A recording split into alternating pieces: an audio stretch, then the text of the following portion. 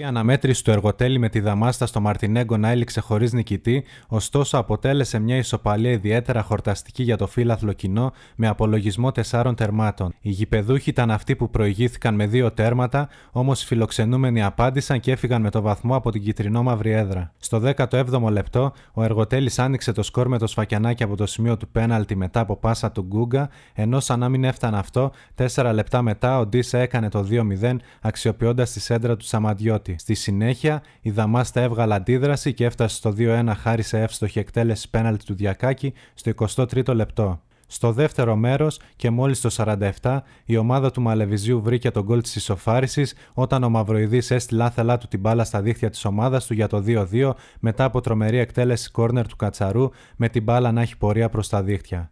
Οι δύο ομάδες έψαχναν τον γκολ που θα χάριζε τη νίκη, ωστόσο δεν κατάφεραν να βρουν δίχτυα με το ισόπαλο 2-2 να αναδεικνύεται ως τελικό σκορ.